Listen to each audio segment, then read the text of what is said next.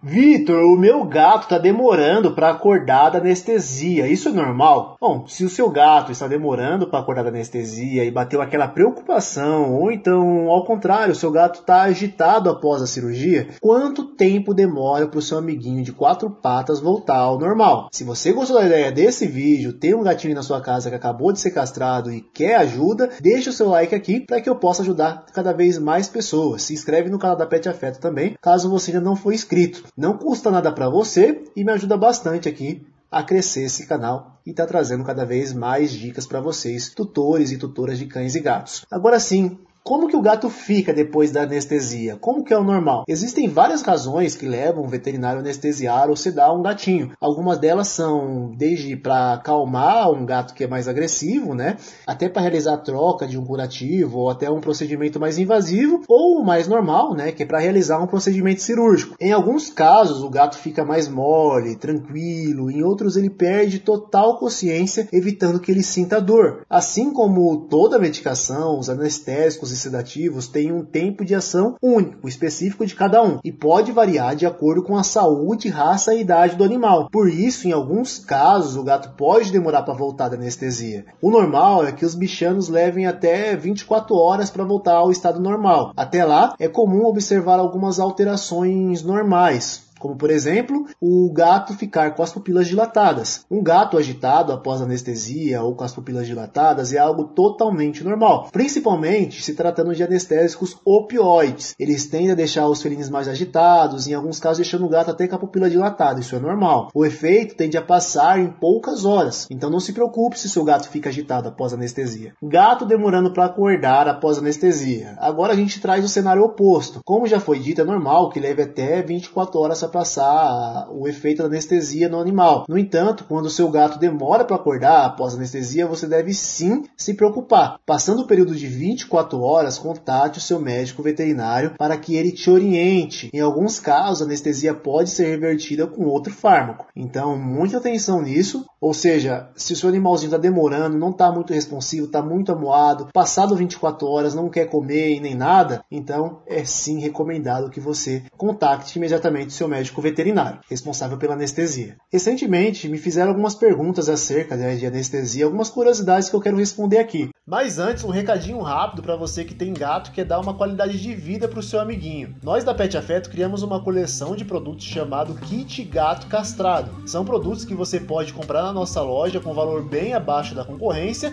e com frete grátis para todo o Brasil. Tem fonte de água, caminha, tapete higiênico reutilizável que reduz para praticamente zero o risco de contaminação da incisão. Também tem comedouro elevado que ajuda na digestão de alimento. Dá uma conferida lá nessa coleção, eu tenho certeza que você vai gostar e que seu gatinho vai amar. Clica no primeiro link da descrição. Primeira delas, o gato ele pode ter alergia à anestesia? Bom, pode acontecer do gato ter uma reação alérgica a alguns fármacos, sim, mas raramente ocorre uma reação alérgica à anestesia. E quando ocorre, pode ser facilmente revertida se for durante um procedimento cirúrgico ou se for durante algum procedimento veterinário. Agora, outra pergunta que me fizeram também é se a anestesia em gato pode matar. Bom, o protocolo de anestesia ou sedação deve ser sempre realizado ou prescrito por um médico veterinário. Dessa forma, os riscos e complicações são bem reduzidos. Porém, é importante que você entenda que a anestesia requer um estado de saúde estável do felino. Por essa razão, antes da anestesia ou da sedação,